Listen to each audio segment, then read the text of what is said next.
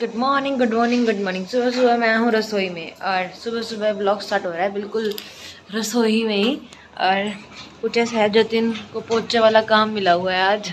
रुक गया। और और पोचा यहाँ पे लगाना है इसको, ये देखो। इधर इस इस एरिए में ये मतलब पोचा गीला किया और फेर दिया। पेंट टाइप करना है इसको, सिर्फ़ यहाँ यहाँ पे। और पता है एसी के चक्कर में ना, यहाँ पे ना बहुत ज़्यादा गर्म हवा आती होती है। मारा है क्या? सांस ले लिया तू। तो बस सब अपने अपने काम क्योंकि बहना को आज धोने थे कपड़े। फिर मैंने सोचा कि हम लोग क्या करेंगे? हम लोग भी कुछ हेल्प करा देते। मैंने झाड़ू लगा दी वो कपड़े धो रही है अभी। और भी बीच बीच में डस्टिंग भी कर ही रही है। और मैंने इधर चढ़ा दी है सब्ज़ी। और सब्ज़ी ना मैं आज दिल करके बनाने की कोशिश करूँगी क्योंकि मुझे टिंडे कतई पसंद नहीं। इससे बढ़िया तो मैं दही के साथ रोटी खा लूँ पर मुझे टिंडा पसंद नहीं। फिर भी मैं बना रही हूँ। मेरे को लगा कि ऐसे खाली बैठूँगी तो अच्छा नहीं लगेगा। आधा स्वादी रसोई में। बाकी मुझे कुकिंग की तो शौक है ही तो शायद क्या पता अच्छी बना ही लूँ। और बस सुबह सुबह सबको काम मिला हुआ है अपना अपना करो और फिर पूरे दिन आराम करो, क्योंकि आज हमें कहीं नहीं जाना। आज हम घर पे रह के मस्ती करने वाले हैं, ठीक है? तो मैं बना लूँ सब्ज़ी, क्योंकि जो तेल है, तेल क्या कुकर है, वो गर्म हो चुका है, क्योंकि इसमें एक दो बूंदे पानी था, इसकी वजह से। तो फटाक से बनाती हूँ सब्ज़ी अब मैं। जी मेरे पीछे ही पड़ गया नहाने के लिए और ना इसी के पास बैठने के बाद ऐसा होता है हम लोग नहाए हुए हैं बस सब कोई कुछ बोले ही ना है ना? बड़ी गंदी चीज़ है ये।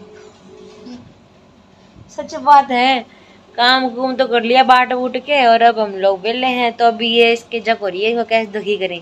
नहा लो नहा लो नहा लो नहा लो। नहाऊँगी मम्मी। मेरी मदर की वीडियो कॉल आ गई। हे hey गाइस मैं हो चुकी हूँ रेडी अपनी शॉर्ट वीडियोस बनाने के लिए और हमारा जतिन जो है वो इधर खा रहा है आइसक्रीम और कह रहा है मौसी, पहले मैं आइसक्रीम खाऊँगा और फिर बनाऊँगा। अब मैं क्या कर सकती हूँ? इंतज़ार ही कर सकती हूँ क्योंकि यहाँ पे मेरे पास स्टैंड नहीं है, नहीं तो फिर मुझे ऐसे जतिन के आड़े खाने की ज़रूरत नहीं है। और आज सुनने में ऐसा आ रहा है कि जतिन का रिज़ल्ट आ जाएगा। राजस्थान में हूँ मैं और जतिन राजस्थान बोर्ड से ही पढ़ रहा है।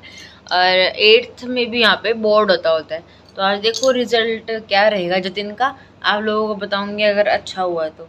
और सच बताऊँगी, जैसे फेंकूँगी नहीं। अगर गंदा हुआ तो मैं बताऊँगी ही नहीं। अच्छा हुआ तो सच ही बताऊँगी, ठीक है? और बस आज मैंने ये ड्रेस पहनी है जो कि आप लोगों को प्रॉपर तरीके से शॉर्ट वीडियोस में दिखाई दे जाएगी। आज घर रहेंगे तो यही करेंगे।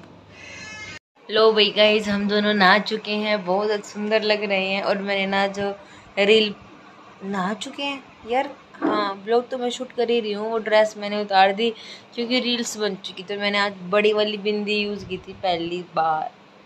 क्योंकि मुझे लग रहा था उसमें ना बिंदी मतलब थोड़ा सा अच्छा लगता होता है। और इज्जतिन ऐसे ही पड़ा है और मेरी बहना रोटी बना रही है गर्मी में। अभी टाइम हो चुके हैं ग्यारह बज के चालीस मिनट क्योंकि सुबह से हम बहुत कुछ चटपट चटपट खा चुके हैं। चटपट तो नहीं खाया मतलब हेल्दी हेल्दी खाया। पर वही बात है, रोटियों से ही भूख मिटेगी। तो ग्यारह बज के चालीस मिनट हो गए और अब कह रही है, एक रोटी सुनता हुए पर ली, कह रही रोटी खा लो, रोटी खा लो। क्यों जाती टेटवा बेच दिया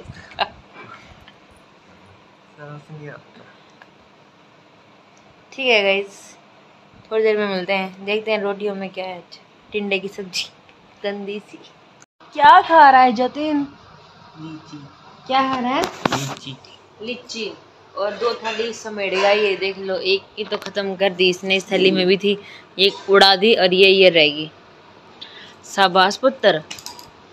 खुद ने नहीं खाई? ये कपड़े धोए हैं आज हम लोगों ने बहुत सारे। खुद ने नहीं खाई? मैंने खाई है तीन मात्र। अच्छा। रोटियों के बाद मन किया था कुछ ठंडा हो जाए लीची थी। आम का मन किया आम ज़्यादा मीठा नहीं था। इस थाली में कितनी थी? कितनी थी दस दस बारह होंगी। हाँ जिनमें से छह सात मम्मी खा गई।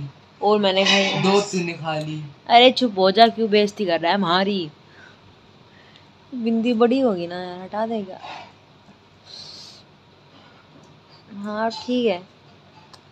अब ऐसे ही ठीक है। इसके यहाँ चिपका देते हैं ड्रेसिंग टेबल पे। ड्रेसिंग टेबल कह रही बैठ के सिराने पे। जतिन ने तो आज मज़े वाले काम कर दिए भाई। शाम को बना दी मैगी मज़े वाली।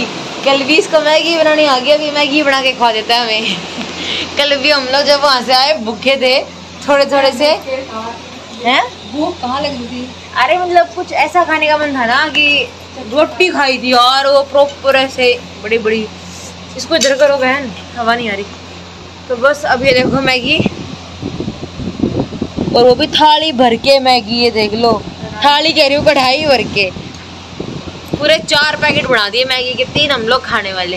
बहना ये रही नहा के अब आई है और हमें साढ़े आठ बजे नहा लो वो नहा लो नहा लो। और अब टाइम हो रहा है। छह बजने वाली है अब नहा के। तो? पाँच। पाँच बजे ये। मैं गाइस छह बजने में केवल पंद्रह मिनट है। और कह रही पाँच बजे है। और ये राजा दिन से इसका सारा ध्यान मैगी में ही है। खाओ मैगी और मज़े करो। है? हाँ ये तो है। हम करेंगे आए गर्मी आए गर्मी। बाकी यार कुछ भी गर्मी ना निकल रही है। ये भी चल रहा था अभी बंद गया है जस्ट। और कूलर चल रहा है। मतलब फिर भी यूँ मन कर रहा है कि क्या करें? गर्मी है गर्मी है। बहुत एक खाए तो खाएगा। खा लेगा? ओ भाई बनाई है। तो गाइस अभी पता है क्या हुआ? जतिन ना मुझे काफ़ी देर से कह रहा है मौसी तू ब्लॉग शूट कर ले तूने मेरी बेइज्जती करा दी। मैं कहा क्यों? कहता तूने ऐसे कही थी? अगर जल- जल्दी नंबर आए ना तो तू रिज़ल्ट नहीं बताएगी। तो ऐसा है राजस्थान का आज टेंथ का बोर्ड आया है। कल बता रहे हैं कि एट्थ का आ जाएगा। आज जतिन का रिज़ल्ट आया नहीं है। क्यों? जतिन मैं सही कह रही हूँ। अभी चुप बैठा है ये वैसे तो चपड़ चपड़ चपड़ चपड़ बहुत बोलता होता है। इंदर से कह रहा है मौसी तू कह दे ना कि रिज़ल्ट आया ही नहीं है आज।